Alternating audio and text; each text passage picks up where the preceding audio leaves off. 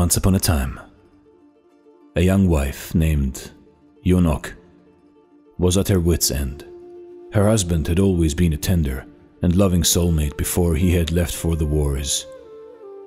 But ever since he returned home, he was cross, angry, and unpredictable. She was almost afraid to live with her own husband. Only in glancing moments did she catch a shadow of the husband she used to know and love.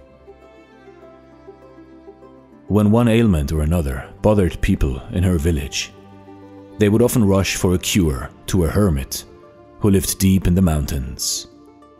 Not Yanok. She always prided herself that she could heal her own troubles. But this time was different. She was desperate. As Yanok approached the hermit's hut, she saw the door was open. The old man said without turning around, I hear you. What's your problem? She explained the situation. His back still to her, he said. Ah, yes. It's often that way when soldiers return from the war. What do you expect me to do about it? Make a potion, cried the young wife. Or an amulet, a drink whatever it takes to get my husband back the way he used to be. The old man turned around. Young woman, your request doesn't exactly fall into the same category as a broken bone or ear infection. I know, she said. It will take three days before I can even look into it. Come back then. Three days later, Yanok returned to the hermit's hut. Yanok, he greeted her with a smile. I have good news. There is a potion that will restore your husband to the way he used to be. But you should know that it requires an unusual ingredient. You must bring me a whisker from a live tiger. What? she gasped. Such a thing is impossible. I cannot make the potion without it, he shouted, startling her. He turned his back. There is nothing more to say. As you can see, I'm very busy. That night, Yanok tossed and turned. How could she get a whisker from a live tiger? The next day, before dawn, she crept out of the house with a bowl of rice covered with meat sauce. She went to a cave on the mountainside where a tiger was known to live. She clicked her tongue very softly as she crept up, her heart pounding, and carefully set the bowl on the grass. Then Trying to make as little noise as she could, she backed away. The next day before dawn, she took another bowl of rice covered with meat sauce to the cave.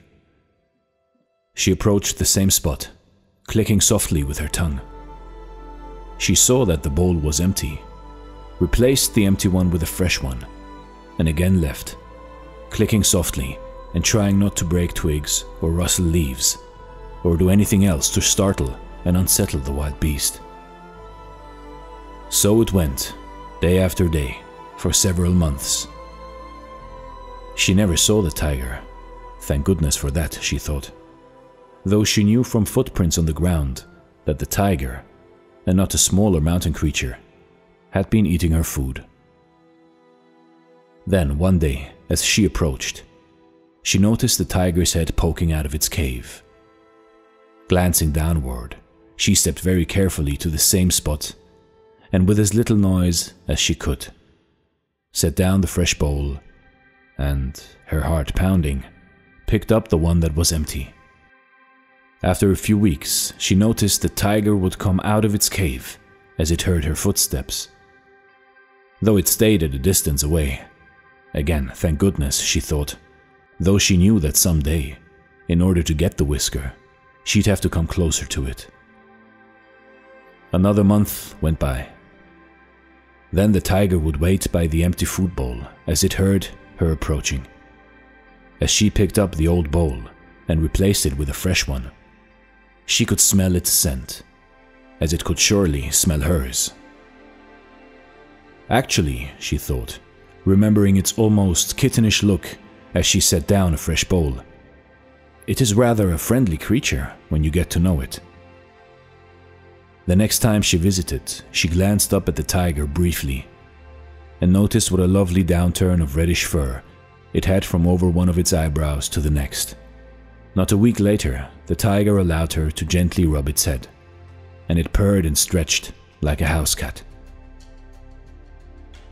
Then she knew the time had come. The next morning, very early, she brought with her a small knife. After she set down the fresh bowl, and the tiger allowed her to pet its head, she said in a low voice, Oh, my tiger, may I please have just one of your whiskers? While petting the tiger with one hand, she held one whisker at its base and, with the other hand, in one quick stroke, she carved the whisker off.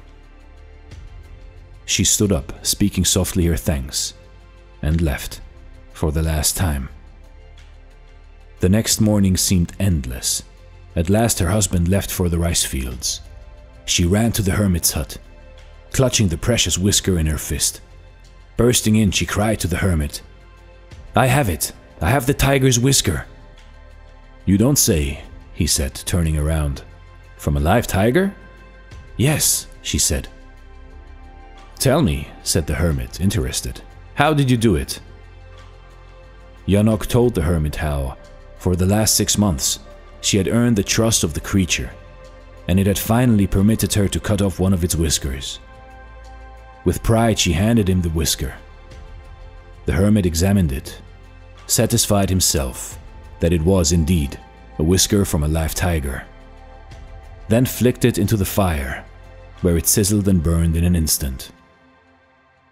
Yanok, the hermit said softly, you no longer need the whisker.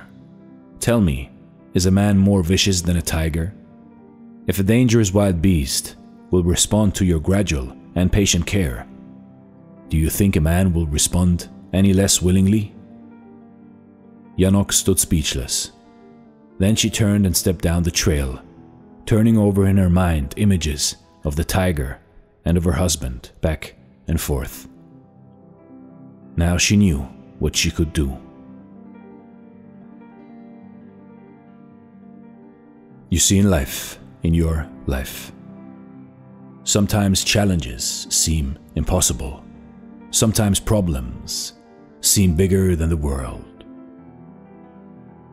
Start approaching your problems like Yanok approached the tiger. With love, with care. And every day try to go a step further. This is Dare to Do Motivation, Stories. Thank you so much for watching.